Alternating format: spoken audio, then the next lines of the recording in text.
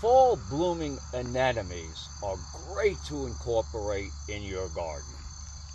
I'm Mark Viette and I live in the Shenandoah Valley of Virginia. So in the Shenandoah Valley, you can grow these either in bright shade or full sun.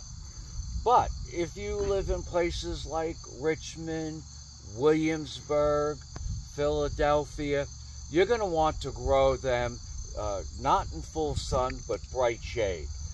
These fall blooming anemones slowly spread in the garden. They're not invasive. And they're filled with either pink or white. I'll show you a couple other varieties in a minute that are great.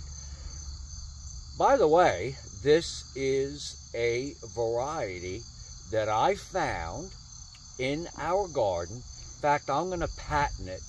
It's a shorter variety.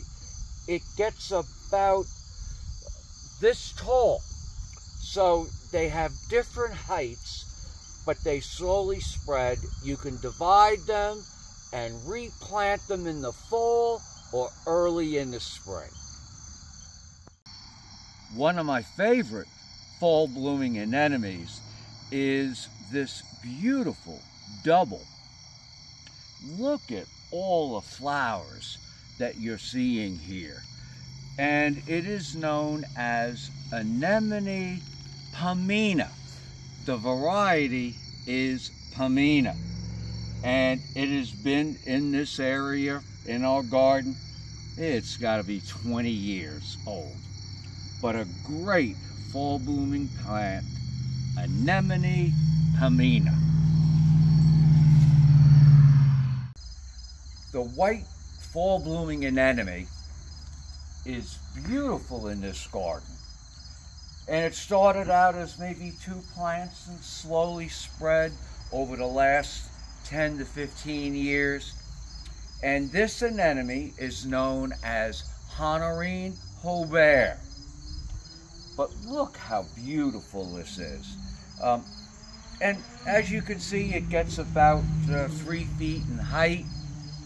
And the best time, again, to transplant or plant the fall blooming anemone is going to be in the fall or early spring.